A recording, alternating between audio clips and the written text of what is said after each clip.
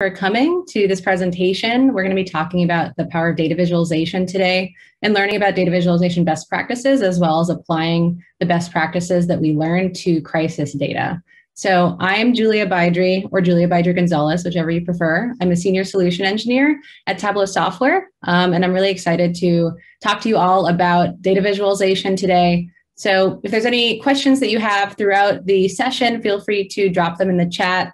I will also uh, pause at various points and you can come off of mute and ask them live as well. So the way that this presentation is going to be structured today is we're going to be talking about data visualization as a topic, why it's important. Um, then we're going to be talking about the science of visual analysis, um, why data visualization can help us see and understand patterns and insights in our data. Uh, we'll be learning a couple of best practices that you can apply to your own work, and then we'll be looking at a real-time, a real-life use case where we'll apply the concepts that we've learned to a ACLED data source that uh, is related to crisis events across the world related to the COVID-19 pandemic. So again, feel free to drop questions in the chat as we go along, and I hope you enjoy. So you may have been, you know, on a trip or you may have been hiking and you may have come across a crossroads in the road that looks something like this. And so, say you're a traveler, you're not sure exactly where you should be going next. If you come to something like this in the road, it's understandable that you could be a little bit confused about what to do next. Um, there's a lot of different signage. There's many, many different paths to take. You're not sure exactly uh, what is the optimal path to take or you know where to go next.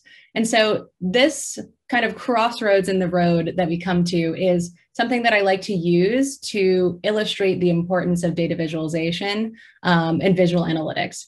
So when we create a dashboard or, or when, when we create data visualization from our data sets, what we want to do is basically the exact opposite of what you're seeing here. We want to guide our users through our analytics with a a purpose-driven process. And we want to make sure that our users feel kind of supported um, through every step of the way and visual cues are pointed out to them throughout um, their experience with our visual analytics products. So the opposite of this is what we really want to accomplish with data visualization. What we really want to accomplish is clarity.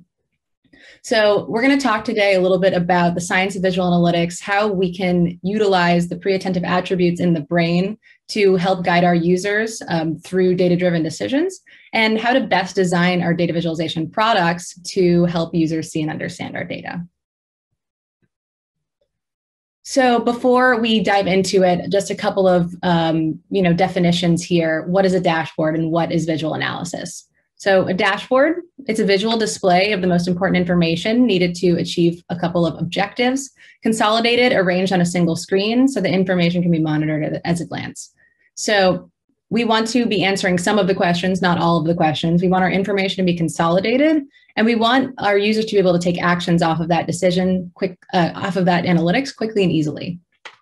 So what is visual anal analysis? Visual analytics is a representation and presentation of data that exploits our visual perception abilities in order to amplify cognition.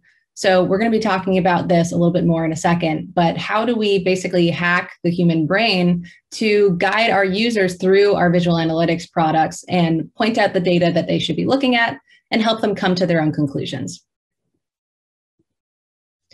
So just discussing two quick historical examples of why data visualization is so important.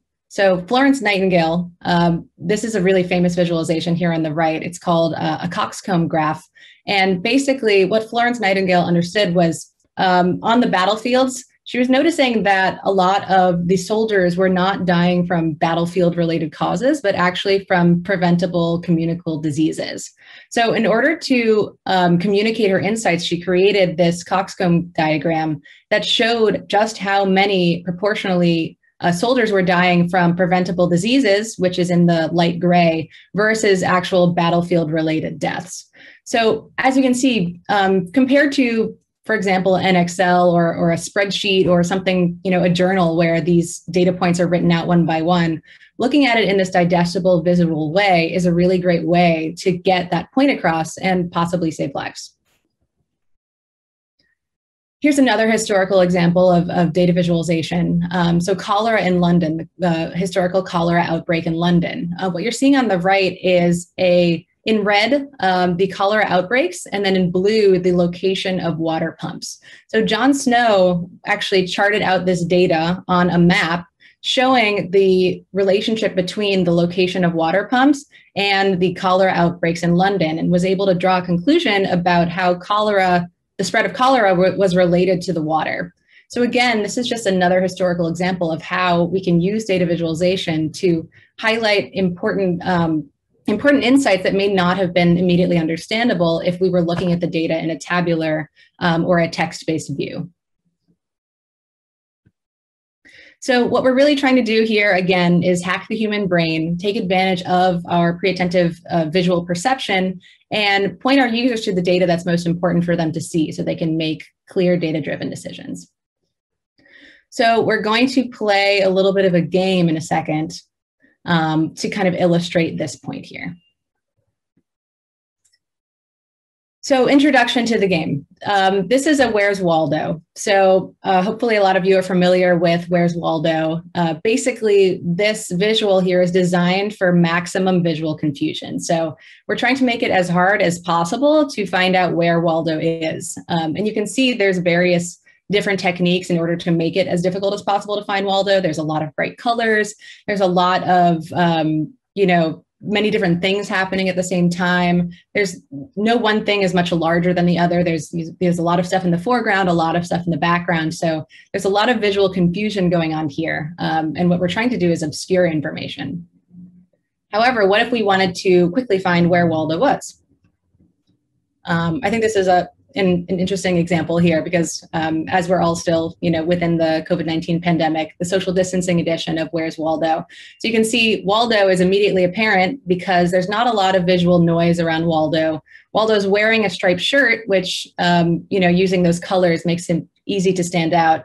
Uh, he's also waving his hand, which is a little bit visually different from the rest of the people in this picture. So uh, when we're thinking about designing visual analytics, uh, we want you know, our data that's the most important to stand out, much like Waldo does in this image versus the one before. So now we're going to play our little game. Um, I hope you all have your chats open and ready because I'm going to ask you a question. We're going to look at a diagram and I'm going to ask you to count the number of nines in the numerical grid that we see. So as soon as you've counted all the number of nines in this numerical grid, feel free to drop your answer in the chat.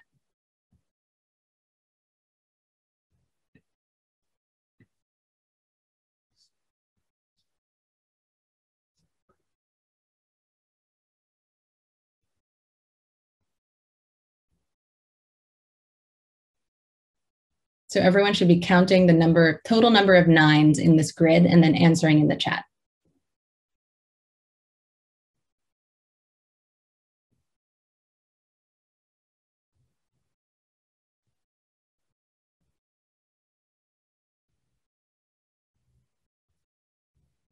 Okay, we're getting a couple of answers coming in.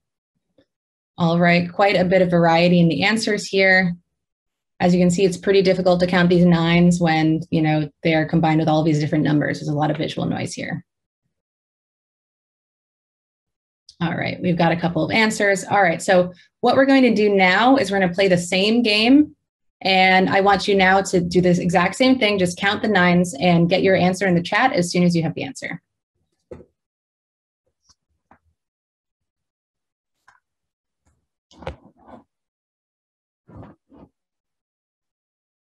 All right, awesome. So this has illustrated my point right here. So the first go around, it took probably 15, 20 seconds for anyone to respond at all. Uh, there was quite a bit of variety between the answers. We were getting, you know, 13, 7, 4, um, kind of all over the place. And then basically, as soon as I showed um, this second version of the number grid, we got the correct answer 10 pretty much instantaneously within three or four seconds. And it was very accurate, you know, amongst everyone who answered. So what we're trying to illustrate here is the power of pre-attentive visual attributes to call out information and make data visible to users.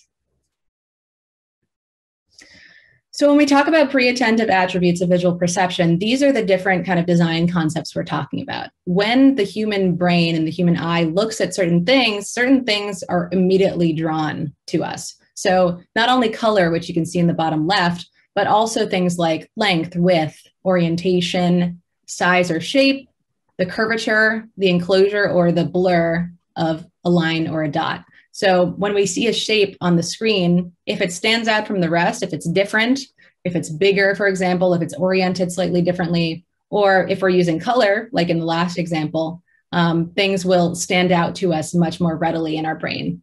Um, so when we're designing data visualizations and visual analytics, we want to take advantage of these pre-attentive attributes of visual perception to call that data out to our users.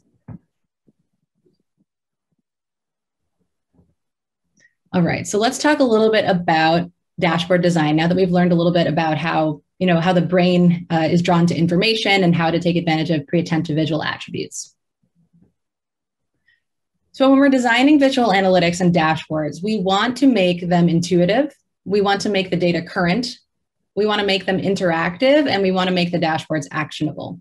So when someone looks at a visualization, they should be able to know what kind of questions it's answering within the first couple of seconds. The data should be up to date, or it should um, it should be shown on the chart how off how often the data is updated or how frequent the data is refreshed. We want it to be interactive, so we want our users to really be able to take a guided analytics approach and dive into our data in an inter- interactive manner. And we also want the data to be actionable. So at the end of the day, the point of designing a dashboard or a visual analytics product is to you know change our users mind have them take an action off of it have them be able to make a data driven decision. And so another concept of dashboard design you can see time and value here on the x and y axes. Um, these are different types of dashboards that you could design kind of across your visual analytics um, journey. So the uh, really good dashboards can be descriptive or diagnostic um, so, what happened? Why did it happen? These are some of the questions that we can answer. Um, however, the best dashboards, again, moving towards those actionable decisions here is what will happen. So, what may happen in the future, and how do we make it happen? What do we do to make it happen? So, we're moving here from descriptive to diagnostic to predictive to descript to prescriptive. Um, I like to use kind of the what, why, how framework for this. Um, and I like to design my dashboards kind of in tiered views based off of this framework or based off of you know, highest level of information down to the most detailed information in order to make a decision. Anatomy of a dashboard. So we see a dashboard here on the right, and um, there's a couple of best practices that I want to call out based off of this visual example here and what we have on the left. So the best dashboards pass the five second rule. We should be able to know what kind of questions the dashboard is answering after five seconds of coming onto the page. So uh, there's a lot of ways to accomplish this, including some of the best practice we're about to discuss. The dashboard should answer a set of questions, not all. So we don't want to, you know, answer the universe with our dashboard. We want we don't want to throw our data at the wall and, you know, we don't want to have 15 different views confusing the user. We want to answer a specific scoped set of questions. The dashboard should also be guided and interactive. So as you move through the dashboard, there should be a storyline, a clear beginning, middle, and end. There should be interactivity so that the user can, you know, click around, zero in on the data that they want to focus on. So there should be an intuitive flow from one view to another. There are ways that you can do this is tiering the dashboard like you see on the right, adding text that kind of guides the user through the dashboard, um, starting at the highest level of information and moving down to the lowest level uh, or the most granular level of information. This is a general rule of thumb, but less than five worksheets per a single pane of glass is a general best practice. So more than five different um, you know data visualizations on a single page can be pretty overwhelming for a user so we just want to make sure that we're keeping the level of visual noise low and that the users can focus on and understand what we're presenting to them um, clear use of text for direction. Again, you can see on the right here, um, they're using questions to kind of guide the user um, from the beginning of the dashboard through the middle. There's clear textual cues on you know what's being arranged on the chart, um, and it kind of makes sense from top to bottom. And then, of course, our dashboarding ABCs, accuracy, brevity, and clarity. Um, we always want to keep these in mind as we're designing a dashboard product. It sounds like someone has come off mute. Is there a question at this point? Okay, maybe not. Of course, feel free to drop in the chat if you do have one. So we're going to play another quick game here. Uh, we, I want to take a look at this graph on the left, this dashboard, and I want you to let me know in the chat what do you think in terms of the design of this dashboard. What's the content? What question is this dashboard trying to answer? How is the design? You know, what's your what's your kind of um, gut reaction to it, and what's the messaging here of the dashboard? So let me know what your thoughts are here in the chat.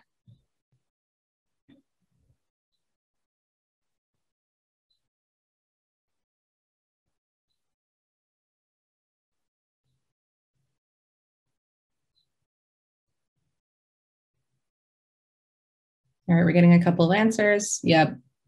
It's a little much, confusing, crowded, overstimulating, very busy. Is it hotel data? That's a good question. So that kind of illustrates the point of, you know, we should know what the data is about based off of the design. So the fact that you're asking that question also points to, you know, the nature of the design of this dashboard. What do the colors mean? It's difficult to know without a key. Mixed month and year, too much information. Exactly. So there's a lot of visual noise on this dashboard. There's eight different charts. There's about five different filters. They're not really arranged in a way that um, you know make it visually clean to the user. There's multiple different color legends going on. Um, we've got a lot of kind of bright, dark design colors here. We're not exactly sure what they mean. Um, all of the charts are line charts, but we also don't know what the area chart versus the line means. So there's just a lot of stuff going on. It's difficult to understand exactly. So let's take a look at the next example and let's repeat the same uh, exercise. So what do we think in terms of what question the dashboard is answering? What's the content, the design, and the messaging?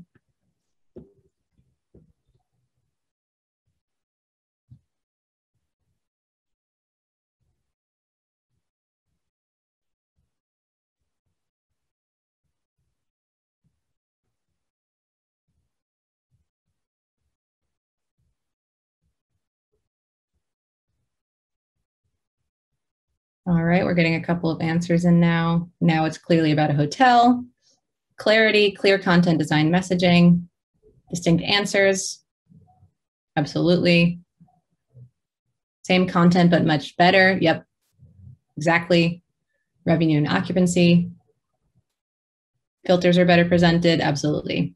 So these two dashboards um, that I just presented to you are using the exact same data set um, so you can see just the total realm of difference between if we're looking on the left versus looking on the right, how different the experience for the user is based off of the literal same data set that um, each of the designers started out with. So this is uh, a dashboard about hotel occupancy and revenue, um, like some of you all noticed here but we can see between the left and the right. Uh, on the left, we're not exactly sure what's going on. Um, all of the line charts are very busy with many different colors, and we're not sure what that even means. However, on the right, we're seeing that the color orange is being used to call out specific information. So the pre-attentive attribute of color is calling our eye to the orange. We can see um, using sizing as well. Some of the line charts, we can see the, um, the largest number of rooms sold versus availability in Mexico. Uh, we've got our our um, KPIs up at the top as well, which is a best practice when we're designing a dashboard for an executive. Um, and then in the heat map below, it's very apparent, you know, what's being shown in terms of the hotspots per percent of total revenue. So our titles make sense, our colors are aligned. Uh, we're using one color legend, and things just are much clearer. Um, there's more white space, and it's just better arranged in general. Um, it's also pleasing to the eye, which is another great call out um, by one of you in the chat. Although aesthetics can kind of sound like a fuzzy thing, it's actually extremely important in visual analytics to make the user experience pleasant um, on the dashboard. So pleasing to the eye, that is actually very important. All right, so we're going to talk about a couple of tactical best practices now. Um, so we're going to kind of take apart a dashboard and take a look at um, you know, what are the different best practices that we can employ in our own design of visual analytics? And then we're going to jump into our actual use case using our ACLED data um, on COVID 19 related um, unrest or crises around the world. So, dashboarding to tell a story. There are a couple of tactical best practices that I want to go through with you before we jump into our use case. So, you can see on the right, this is the dashboard that I've designed for the purpose of this conference. Um, it's COVID 19 related unrest worldwide. Um, there's also a country profile view that I'll show you interactively a little bit later. Um, but we can use it to illustrate some of the design best practices that we can employ in our own work when designing data visualization products. So, position the most important view should go on a dashboard in the top or the top left. Um, we've done quite a bit of user analysis, and we've noticed that users tend to, when they um, enter a dashboard or when they first see a dashboard, their eye tends to go directly to the top left, kind of like a newspaper layout, and then uh, tend to work from Z formation from the left to the right, across down to the bottom, and then across to the right bottom corner. So position is important. If there's something you want your users to see right away, um, putting it in the top or the top left corner is, is a great way for the user to see it first. So color, avoid too many color schemes on a single dashboard. Um, you saw from the example that we just looked at from the hotel chains dashboard that the single um, orange to blue color scheme was being utilized. Um, you can see here on the right that we're using purple to designate a COVID-19 related unrest or protest event. Um, and then orange is being used down below to compare those protest or unrest events to um, the number of cases, number of new cases per week of the coronavirus. Number of views, so five or fewer views in a single dashboard is a best practice. Again, this is a rule of thumb. There are some um, exceptions. Um, however, you know, reducing the visual noise is always very important and using navigation to move from dashboard to dashboard. If you have more information to present, then uh, makes sense on a single screen. Adding buttons, you know, adding interactivity, allowing your user to flow from the highest level to the lowest level of information. Text, make titles, captions, and legends easily understandable. So you can see here, this dashboard has a very clear hierarchy. Um, we've got non-data related ink in caps. So the title, the filters, and the legends, they're all in this dark blue that matches the logo and the button below. Um, they're all differentiated from the actual data uh, ink by these lines here on the top and on the left. The filters and the legends are very clearly labeled. Um, there's some instructions up in the top left as well. So when the user comes onto the dashboard, they see the instructions first. Um, and the dashboard just has a very clear hierarchy here. Um, so titles, captions, and legends easily understandable um, is very important to kind of structure your visualization for your user. Arrangement. So using white space strategically, minimizing non-data ink, like I just said, uh, there's not a lot of visual noise on this dashboard other than the data itself. So you can see I've chosen to whitewash the map even so that we can see the kind of incidence of different events across the world. We're looking at events by size. So larger events will have a larger bubble um, the same color legends using being used across and as much extraneous lines and kind of um, you know different chart dividers have been removed as possible to make sure that the data is really front and center. And then of course provide interactivity. So we'll see when i live demo this dashboard the different interactivity options i've provided um, and the way that you can flow from this highest level worldwide information down to the country profile Uh, we have an interesting question here. Does positioning importance change for right to left languages or does it hold? That is a great question. I actually don't know the answer to that, um, but I would love to research that for you. So um, if you want to grab my email, um, I can follow up with that on you later. Um, but that's really interesting. That, that is a good question. All right, so let's move into each of these tactical best practices one by one, and then we'll go into the live dashboard example. So position um, from our user research, and then again with the caveat here, I'll have to look into that for right to left languages. That's very interesting. Um, so from our research, we found that the top left corner and also the center of a dashboard is emphasized. So as you move across the dashboard, you can see the different quadrants here on where you'd want to place your most important visualizations versus kind of supporting information or details here. Um, so the newspaper or Z formation is the general best practice here. Color. So, like I said before, um, when we looked at the hotel executives dashboard, there was a lot of different bright or highlight colors going on, and that was kind of causing the sensory overkill. Um, the bright color should be reserved for the data that stands out from the rest. So, when we're utilizing our color legends, we want to make sure that we select maybe just one bright color and then have the rest of the colors in the legend uh, be kind of a little bit more muted or faded, especially if we're looking to call out a specific data point on the dashboard. So the use of red, yellow, or green on the dashboard, we want to keep in mind that there are a significant percentage of people across the world who are colorblind, and especially red, green color palettes can exclude these people because it's very hard for um, folks with color blindness to distinguish red and green. So you'll actually notice that the design of Tableau, the platform, uh, the data visualization software, and, and the place that I work, um, the default color palette is actually blue to orange. So um, blue to orange is a lot more friendly for um, you know colorblind folks. And then colors that are common in nature work very well as color palettes for dashboards. So um, designing your dashboards, you know, uh, getting inspiration from nature can be a great way to kind of design color palettes for your dashboard. And apologies, I'm in a city. I'm just going to wait for that to go by.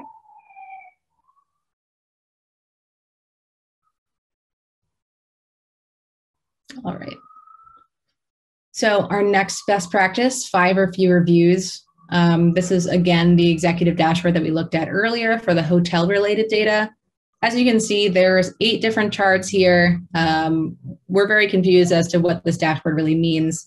Um, but the point here is that, you know, five or fewer views is the best practice for a single pane of glass or a single visualization dashboard the more visualizations you add beyond five, it may start to add, you know, visual noise or visual complexity to the screen and may start to confuse your user. So again, five is a rule of thumb. Uh, there are exceptions for sure, but it's a good kind of um, rule of thumb to keep in mind as you're designing your dashboards. Intuitive titles and captions.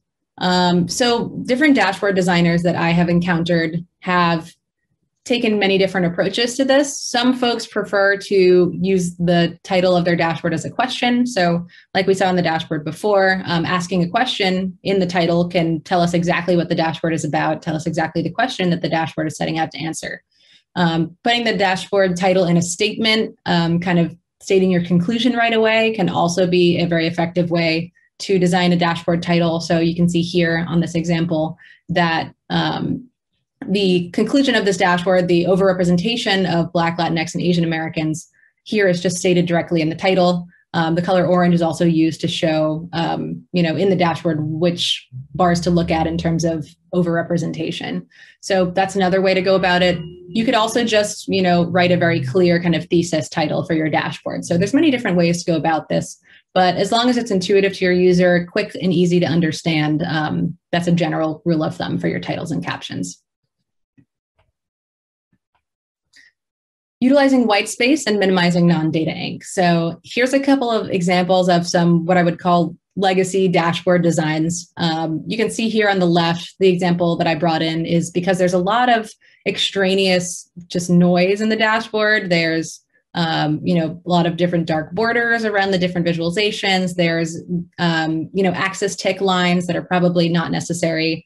Um, you know, we've got a lot of different visualizations again on the dashboard. We've got looks like you know, nine or 10 here. Um, and there's just like a, a lot of noise happening, a lot of different things competing for your attention. On the right, we have a 3D visualization. Again, this is not a best practice. Um, we have multiple axes going on. It's, you know, it's, it's challenging your depth perception. There's um, a lot of extraneous kind of shading and coloring going on. So minimizing non-data ink and utilizing white space is a great way to make your dashboard clear and to make it past that five second rule that we talked about earlier. So getting rid of extraneous lines, getting rid of um, extraneous details that don't actually help your user understand the data is a great design best practice as you're arranging the different elements on your dashboard. So now that we've talked about the tactical best practices, let's talk a little bit about the kind of intangibles here. So beyond kind of positioning, sizing, color, using, utilizing white space, the things that we've just discussed, does the visualization type make sense for the data? So when we look at data over time, what's the best way to visualize that type of data? Um, you know, general best practice would be a line chart in that case. So there's a lot of different tools on the internet that can address this question, and I'm going to provide one to you at the end of the session. Um, but thinking about, you know, what's the best way to visualize your data to make it immediately apparent to your users? So I've seen a lot of great examples of visualization types being utilized very effectively in this way. Um, one of the great examples that I like to call to a lot is I I saw a dashboard um, around you know rising temperatures over time in terms of global warming, and the designer used a heat map uh, style visualization to illustrate their point. And so, using a heat map to literally talk about temperature was a very intuitive way to visualize that data. Um, so there's some great examples of this out there on the web that I can also share with you at the end. Um, but keep this question in mind as you're designing. What's the best way to visualize this type of data? is it a guided analytics experience? So, like we talked about earlier, the what, why, how framework or the high level, you know, highest level um, executive KPI information down to more detail is the dashboard kind of set up in a way that tells a story and that makes sense for a user to, to walk through it. Um, and also, are you utilizing interactivity to really make it a guided experience for your users. So, does it make sense where the user should click, where the user should use a navigation button? Um, are there clear instructions? Are you utilizing text to help your user understand what to do next? Does the dashboard answer the question that the title poses? So this is extremely important. You know, um, as you're designing a dashboard, you always want to keep that central question in mind. Why am I doing this to begin with? What are my requirements? Who is my audience? Um, so we'll discuss the design process a little bit later, but always keep that central question in mind. What is my dashboard answering? How am I helping my users make decisions? Is dashboard pretty? So this is very important. Like we saw before, um, you know, the dashboards that we looked at for the hotel executive, one of them was very not pretty and one of them was. Um, and we, of course, use best practices to get to that state of quote unquote pretty, but the pleasant visual experience of the dashboard actually helps facilitate the user to find the information they need quickly because um, the user doesn't have a visceral reaction to the dashboard uh, that's negative. The user has a positive reaction and you know that's just one more thing that they don't have to think about as they're finding the data that they need. And also of course do my users care?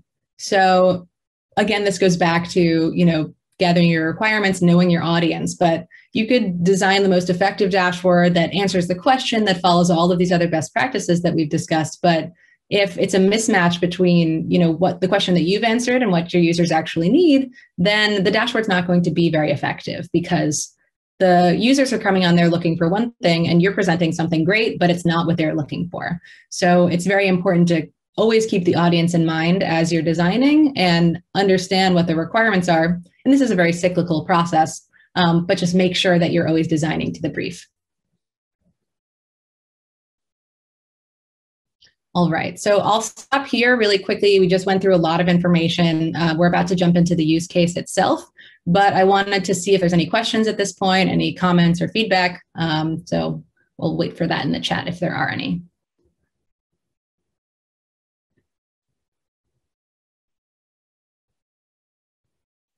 And I see we've got a article.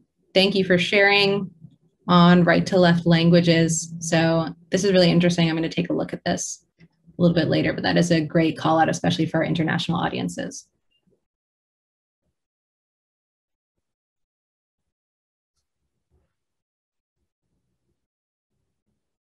Any other questions at this point or thoughts about any of the best practices? All right, awesome. Thanks, Paige. Cool. So if there's no questions at this point, we're going to move into the next section of the presentation where we're going to start to apply some of these design best practices to um, our crisis data.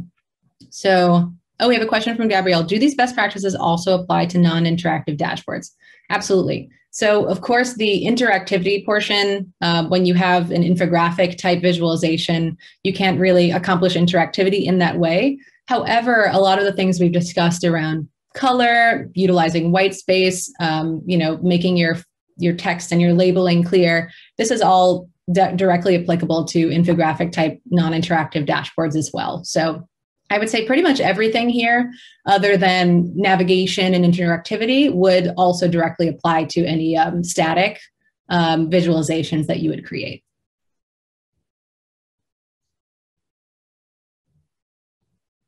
All right. So if there's nothing else, I will go ahead and move on to our next segment here. Our use case, the ACLED COVID-19 data source. So what I'm going to do with this dashboard is I'm going to jump into the interactive version of it. I will demonstrate the dashboard for you, kind of move through a user path um, for the dashboard. Um, we're going to click around, you know, test out the different features of the dashboard, and then we're going to discuss the best practices of this dashboard. What does this dashboard do well? What could it do better? What other questions arise in your mind as you go through this dashboard? Um, and then I can talk a little bit about the design process as well. I'm going to jump out of my screen for a second and I'm going to jump into my interactive version.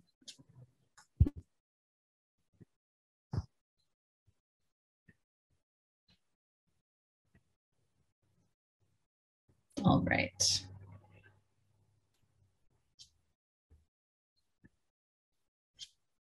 Can everyone see my screen?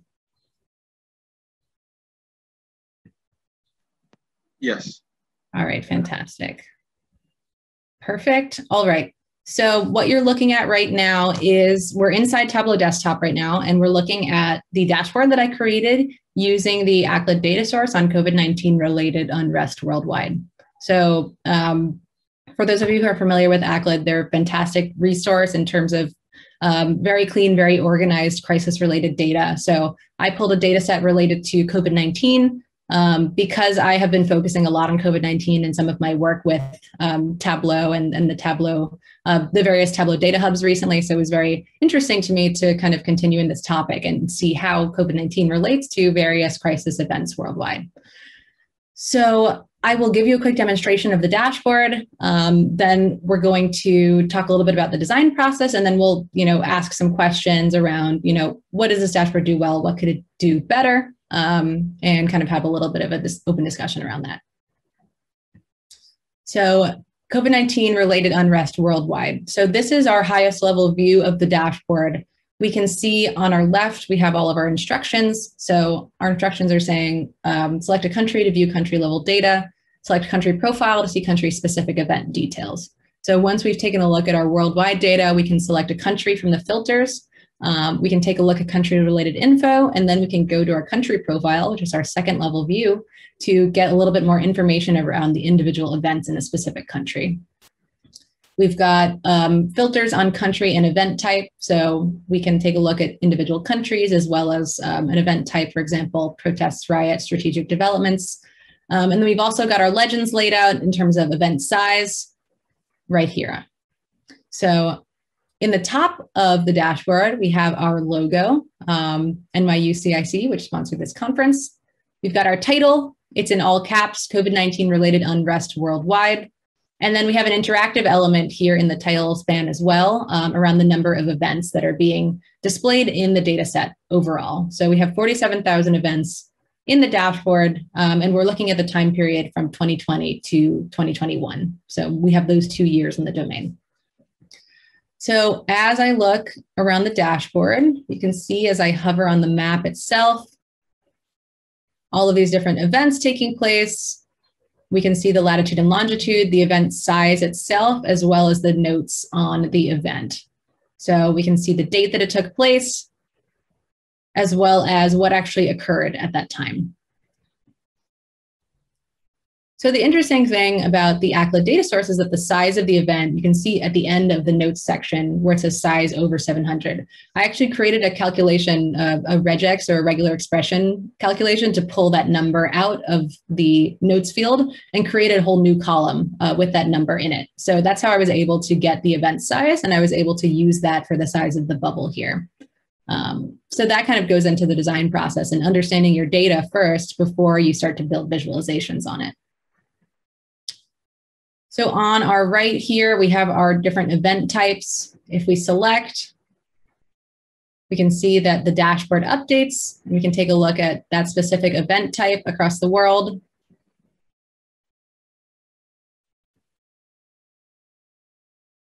You can see our, our dashboard automatically updates here. So we're checking the box of interactivity, at least in this point. And then down below, what I did with this data set was I related it to a Tableau COVID-19 data hub data source, um, comparing the events over the course of 2020 and 2021 to the new cases per week. So I wanted to see if there was any sort of uh, relationship between the incidence of events and the incidence of the new cases per week of the coronavirus.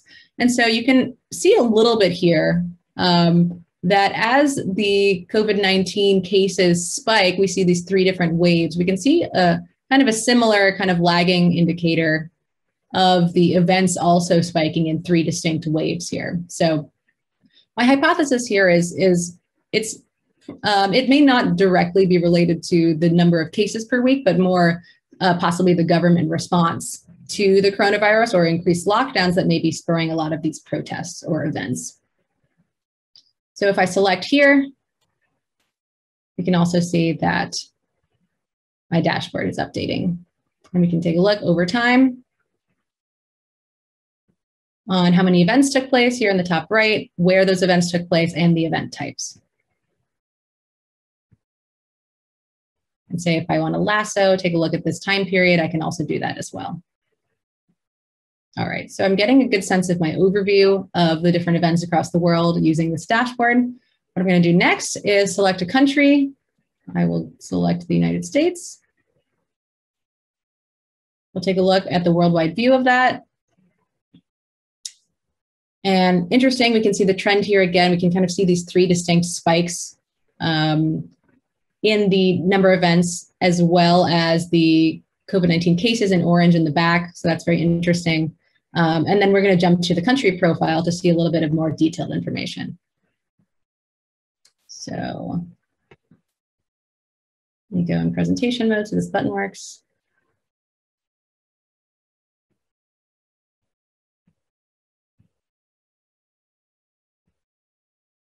All right.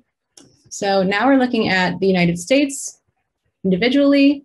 We can see our label here is telling us what country we're looking at. So it's very immediately apparent that we're looking at the country profile for the United States.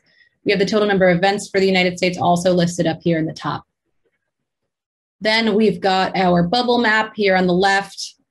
Um, we have a couple of additional metrics here on the right. So we have not only new cases per week, but new deaths per week um, for the COVID-19 pandemic, as well as the events per week again. We also have a kind of dot plot here of the event sizes. So I was interested in looking at what were the largest events that took place um, that I was able to extract from that notes field. Um, and so the largest event here seemed to have about 5,000 people in it. And then we finally have the event detail. So all the way here on the bottom, we have the kind of finest grain of information, the most lower, lowest level detail that we have in the data set. So we have the individual events, what time they took place, uh, what type of event it was, where that took place in terms of subregions, the actor, as well as the notes. So the uh, lowest level of information is the individual notes on what exactly occurred on that date and time. So again, we can take a look at the data by kind of clicking around on the dashboard itself. So say we want to see an event size here, we can click around like this. We can see our dashboard on the right, sorry, on the left, our visualization updates, as well as the event details down below. You can also lasso these if we want and multi-select. Say if we only want to look at our largest events, we can again take place down below. And then again, at the end of the design process of this dashboard, I was starting to think about kind of what other questions is this analysis spurring? So this analysis is limited to these two data sources right now. We just have the COVID-19 incidence and the ACLED data source. But what other data sources could I relate to this um, in terms of maybe government response or, you know, what else could be important for this dashboard? And then I also started thinking about, you know, are there trends in the different types of events themselves um, could a good next step for this dashboard be to start using text analysis to see, you know, how many protests were related to mask mandates? How many were related to the government response? How many were related to racism, for example? So um, if I type in government, for example, in the notes here, and I click enter, we can see there's a, a text analysis field that's wildcard matching all of the events that have the word government in them. So if I put racism, so this is just kind of the beginning of the text analysis here. We can do all sorts of um, really interested, interesting things around, you know, embedding, you know, Python or R into this dashboard to start doing some more advanced analysis here. But this is kind of the jumping off point here to take a look at the different keywords in the notes themselves and see kind of what different events are occurring based off of those keywords.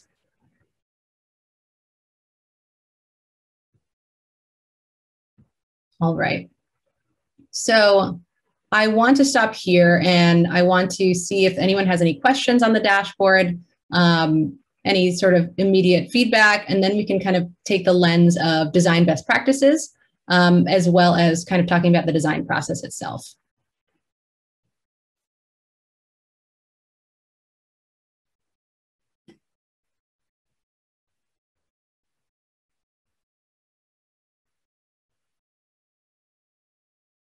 So any high level thoughts on the dashboard at this point?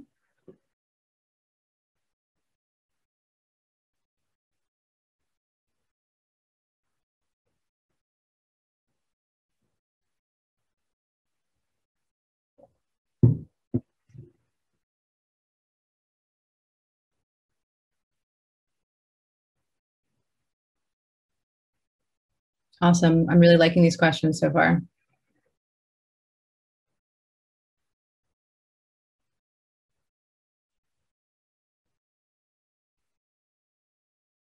So the first two questions are actually exactly what, you know, the the conversation that I wanted to spur on this dashboard. So what conclusions can be drawn from this dashboard? Um, or for example, would it be possible to compare two countries at the same time? So um, the first question is really related to our um, kind of actionable question. What do we do based off of the information on this dashboard? And so, like I said before, we're currently limited to these two data sources that I pulled in for this analysis. We have the COVID 19 incidence data, and we have the events uh, related data from ACLED. So, as we start to think about really getting into kind of those predictive analyses, what sort of other information would we want to enhance this dashboard?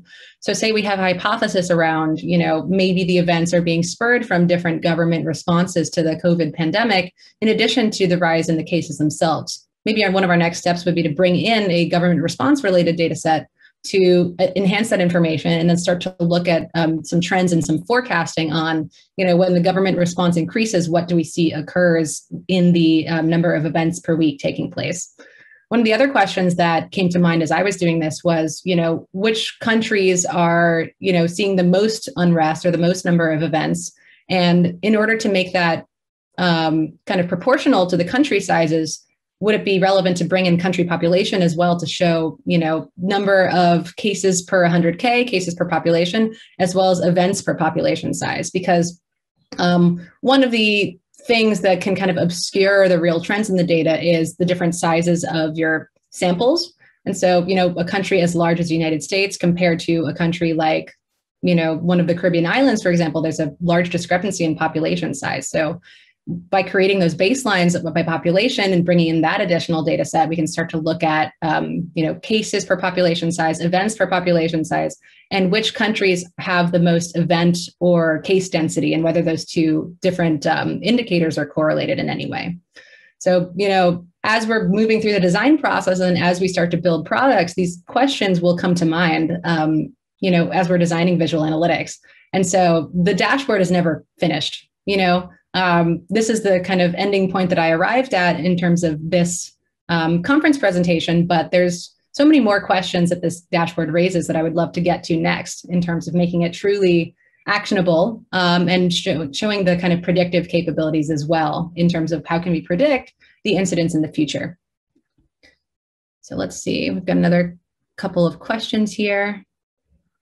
Is this dashboard public? Great question. I can make it public. I can uh, publish it out on my Tableau Public profile. And I'll, I'll provide you all the link to that at the end if you're interested in taking a look at my other dashboards. Um, and then I can make that available to you there. Can it be embedded in a website? The answer is yes. Um, so Tableau Public, if you're utilizing Tableau as your data visualization technique, you're able to get an embed code from there and then embed it into any sort of website or application that you'd like. Um, Marcella, I don't quite understand your question. Am I focused on generating this information or on applications? So this data was taken from ACLED, so I did not generate the information itself, um, but I created the data visualizations kind of as an illustrative piece for this conference, as well as um, to make it available to others.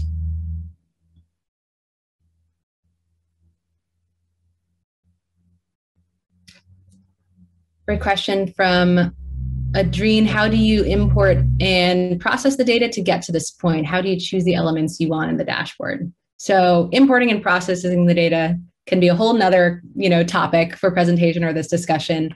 Um, I can provide my email address at the end, and I'm happy to kind of discuss this with you further.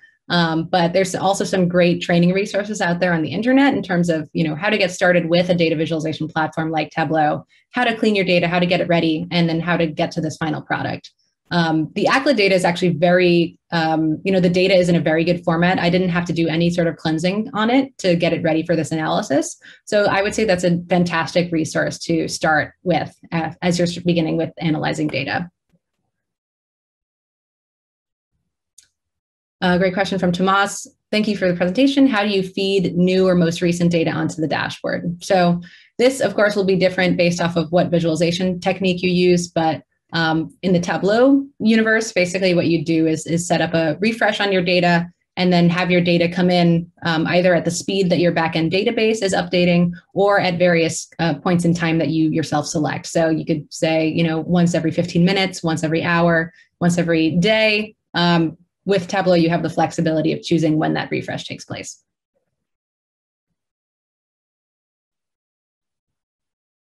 All right, so I'm going to go ahead and share my email address in the chat here because there's quite a few questions here that I would love to follow up with. Um, we have a question on integrating R Python. Again, that's a great follow up. Um, don't have a ton of, ton of time in this conversation to get into that, but um, I'm very fascinated with that as well and happy to you know send you resources or um, have another discussion around that. Do you have any particular tutorials you think are good? Um, also, great question. I do have a link for you um, that I can share at the end of this presentation. All right. And another question on Python. Yes. Okay. So hopefully I'll leave about, you know, two minutes at the end so I can go, go and grab some of these links and hopefully share them at the end here. And then we have a question on spatial data.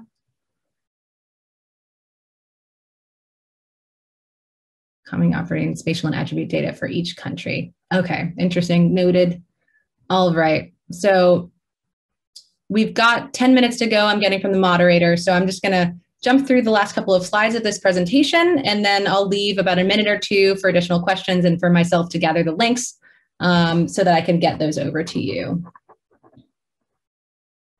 So what we're going to do next is talk a little bit about the design process, um, you know, how you get from data to a dashboard.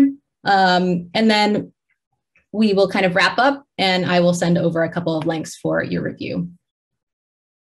But before leaving this dashboard, I just wanted to note kind of some of the design best practices that this dashboard is using. So um, if we're looking at the dashboard itself, we can see the template that's being used. It's uh, the non-data ink is definitely separated from the data ink. We've got um, the same dark color blue being utilized in the logo and the text related to kind of the title, as well as the filters and legends of the dashboard, as well as the button. Uh, then we have data ink that's highlighted in purple. Um, we're using orange to denote the COVID-19 pandemic. Um, there's a lot of white space here, so the map is totally washed out in order to show just the points themselves. Um, we've got only three, we've actually got four visualizations on this dashboard. So there's not um, a ton of too much visual noise for the user. Um, and then our titles and our titles of our visualizations themselves all are, make a lot of sense with what the visualization itself is displaying. So um, just to kind of close the book on the visual best practices being utilized by this dashboard. And I will definitely make this available to all of you um, on Tableau Public if you'd like to explore it a little bit more. All right. So I'm going to stop sharing and jump into my final slides here in the last couple of minutes we have.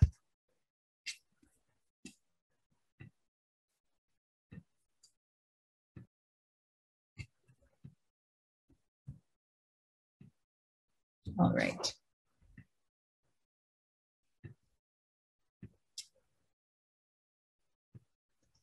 So a couple of visualization tips that I will leave you with. One great resource out there is the visual vocabulary. It is available out on Tableau Public. Um, this is a great resource that you can use as you're starting to design visual analytics to decide what type of chart best matches your data. So this is a totally interactive product. As you select any of these labels here, you'll get a bunch of different examples of the best way to display correlation, deviation, distribution, kind of what have you here on visual vocabulary. And I do have that link available. I'm going to drop it in the chat right now so you can all take a look at that. That is a great resource for you. All right.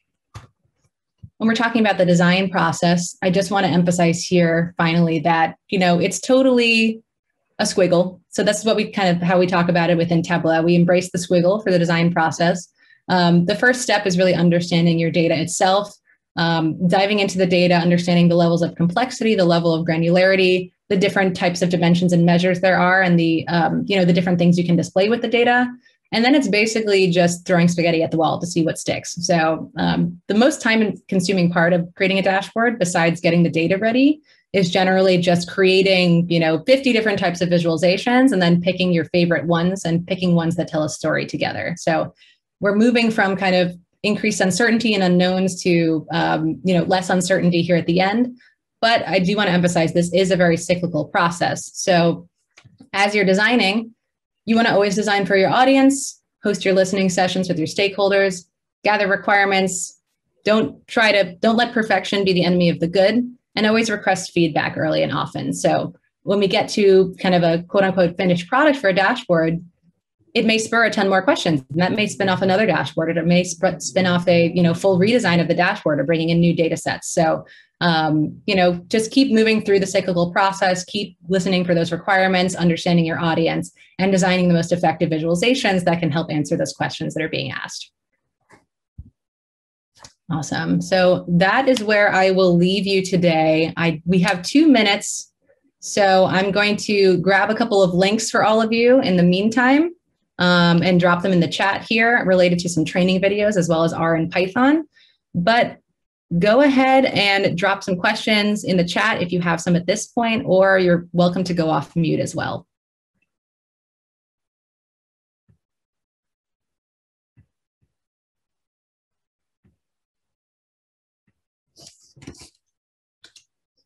So I'm going to drop the link to the ACLED curated data sources first. That is a great place to um, download some data sources related to what you saw on the talk today. I'm going to do Tableau training videos as well if you're interested in getting started with Tableau. These are very useful. Um, they're all free and they're all related by topics here. And then integrating Tableau and Python is another great resource here. See if I can grab one quickly. Alrighty. Here's a good example here.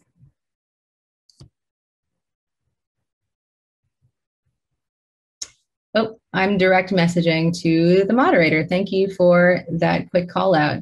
I'm going to resend those. That one's the Python one.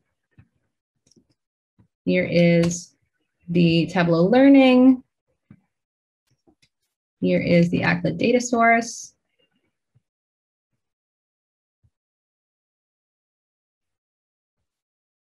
And then here is the visual vocabulary, since I don't think you got that either. And last thing I'll leave you with is my Tableau Public profile. Feel free to take a look at some of the visualizations I created here. Um, and I will also publish out this example um, that we looked at today in the session so that you can explore it further.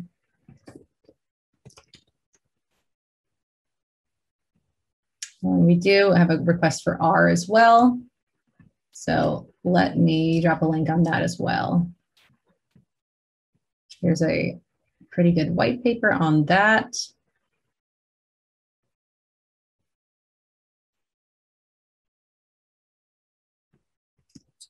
All right. And then I'll finally drop my email address one more time.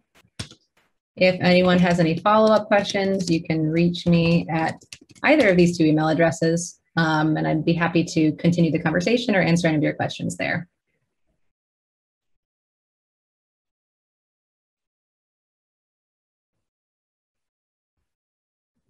All right, so I know we're at 10.01 now if you're in the Eastern time zone. So thank you so much everyone for coming to this presentation. I hope you have a fantastic rest of the day at the conference and you uh, see a lot of more insightful sessions today. Um, feel free to connect with me offline if you would like to send me an email or follow me on Tableau Public, take a look at my visualizations. Um, thanks everyone for coming and I hope you have a great rest of your day.